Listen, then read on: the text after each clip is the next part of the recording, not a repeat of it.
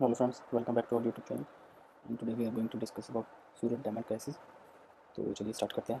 सबसे पहले हम सूरत के बारे में कुछ फैक्ट्स जान लेते हैं। सूरत जो सूरत है ये गुजरात स्टेट में लोकेटेड है। काफ़ी इंपॉर्टेंट और काफ़ी सिग्निफिकेंट सिटी है गुजरात की। और इसे हम डायमंड सिटी के नाम से भी जानते हैं। किस लिए? To dominance global diamond industry मेरी जो नाइन्टी परसेंट है diamond market processing and segregation and polishing वो सारी सूरत में होती है। Ninety percent and more six thousand units जो कि कटिंग ऑफ़ पोल्यूशन के जो डायमंड की वो सूरत में ही लोकेटेड है and a million craftsman workers city की इकोनॉमी में काफ़ी इंपॉर्टेंट रोल प्ले करते हैं। और इसी के साथ ही जो एनुअल रेवेन्यू है, जो कि डायमंड इंडस्ट्री रिसोर्स में जनरेट करती है nearly one point six trillion rupees इससे भी ज़्यादा है। ये कुछ फैक्ट्स है इसके बारे में। और रिसेंटली जो क्राइसिस है, वो मेनली इसीलिए है कि पहले क्या था कि डायमंड्स माइन करने पड़ते थे। अब क्या है ग्लोबल मार्केट में लैब ग्रोन डायमंड्स आ गए अब साइंस इतनी एडवांस हो गई है साइंस एंड टेक्नोलॉजी कि डायमंड सब लैब में ग्रो करने लग गए। और इसकी वजह से जो क्राइसिस इस सेक्टर में आया और इंडिया जो कि नाइन्टी परसेंट हमने देखा कि मार्केट का शेयर है वर्ल्ड का तो उसको इम्पैक्ट करना एक नेचुरल है। तो हम देखते हैं कि चैलेंजेस और नेगेटिव एस्पेक्ट्स है सूरत इंडस्ट्री के क्या क्या सबसे पहले थे सुसाइड्स एंड जॉब्स काफ़ी सुसाइड्स हो रही हैं हमने न्यूज़ रिसेंटली न्यूज़ में देखा कि जो कुछ नौ लोगों ने सुसाइड कर ली थी, सूरत की डायमंड इंडस्ट्री में। और वो इस वजह से क्योंकि इस इंडस्ट्री में काफ़ी स्ट्रेस रही टू लैब क्राउन डायमंड्स और भी बहुत फैक्टर है। मास जॉब लॉसेस ये भी हमने देखा था। न्यूज़ में industry crisis combination of factors काफ़ी फैक्टर्स हैं, जिसकी वजह से जो डायमंड इंडस्ट्री है, वो काफ़ी स्ट्रेस में है।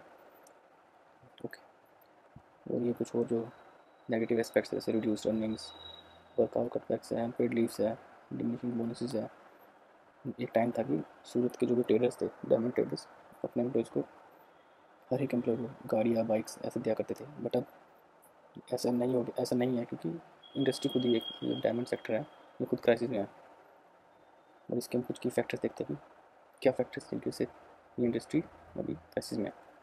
सबसे पहले स्लो डिमांड डिमांड जो यूएस और यूरोप में एक्सपोर्ट काफ़ी करते हैं।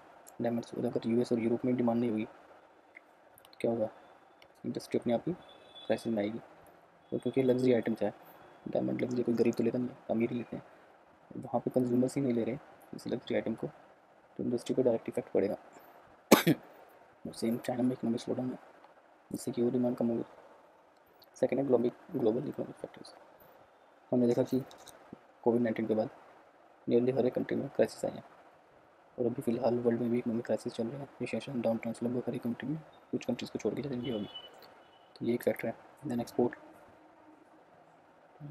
दो एक्सपोर्ट फ़िज़िकल इतना है एक्सपोर्ट डायमंड का बट पहले के टाइम में देखे, पिछले ईयर्स में देखे, उसके मुताबिक काफ़ी कम है। ये कुछ फैक्टर्स हैं। अब इसके साथ ही जियो ने भी काफ़ी इम्पैक्ट डाला है इंडिया की सूरत की स्पेशली डायमंड इंडस्ट्री पर सबसे पहले रशिया पे हम, रशिया पे रो डायमंड्स के लिए, रशिया पे हैवीली डिपेंडेंट थे रफ डायमंड के लिए मेनली थर्टी फाइव परसेंट उनको पता है कि रशिया और यूक्रेन में कन्फ्लिक्ट चल रहा है। क्योंकि एक मेजर फैक्टर है कि डायमंड है, रशिया है फोकस नहीं कर पा रहा। माइनिंग अल्ट्रोसा अल्ट्रोसा जो वर्ल्ड की सबसे बड़ी माइनिंग कंपनी है, रशिया में उस पर सैंक्शंस लगा दिए यूएस यूके एंड कैनेडा ने। इसकी वजह से जो सप्लाई है रफ डायमंड की सॉरी वो इजीली नहीं पहुँच पा रही है। साथ ही में US market and demand US में भी जो लार्जेस्ट मार्केट है डायमंड की, वो भी अब काफ़ी फैक्टर्स की वजह से डिमांड उसमें भी काफ़ी कम है। इसमें इंडियन इंडस्ट्री का क्या रिएक्शन है? अब रशिया से हमें पता ही है कि सैंक्शंस है और रशिया भी माइन नहीं कर पा अच्छे से। तो ये रिड्यूस कर दिया कुछ यूर ऑफ़ टाइम जो रशिया चाहता था। इन रिस्ट्रिक्शंस और कॉम्प्लिकेशंस की वजह से रिड्यूस हो गया। और जैसे अगर रफ डायमंड में अगर तो प्रोसेसिंग पॉलिसिंग नहीं हुई तो अपने आप इम्पैक्ट डालेगी इंडिया में। Cost impact on cost and supply directly ये कोस्ट एंड सप्लाई पर इम्पैक्ट डालेगी। लैब ग्रोन डायमंड्स है वो। इनका हमने देखा मेनली क्राइसिस का। मेन रीज़न यही है। ब्लैक ग्रोन डायमंड्स आ गए तो जो माइनिंग के डायमंड्स थे, जो नेचुरल निकालते थे, फिर प्रोसेस करते थे, उनकी पॉलिशिंग करते थे, उनकी डिमांड ऑटोमेटिकली कम हो गई है। क्यों? क्योंकि ये रिलेटिवली काफ़ी चीप रहते हैं और सेम पर्पज़ फुलफिल करते हैं। Formation and application natural diamonds में बताइए कैसे बनते हैं, क्या प्रोसेस है उसका एंड लोट ऑफ़ प्रेशर के बाद। यही साइंटिस्ट ने लेबोरेटरी में क्रिएट कर लिया। ओके ये कुछ फैक्टर्स है प्राइस कंपेरिजन भी देख लिया हमने। डिफ्रेंशिएशन नहीं किया जा सकता लाइब्रेरी डायमंड है एक्सपेंशन डायमंड है।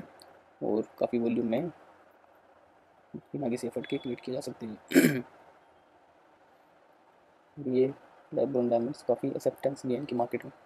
तो ये कुछ मेन रीज़न थे कि सूरत में डायमंड प्राइसिस किस वजह से? Thank you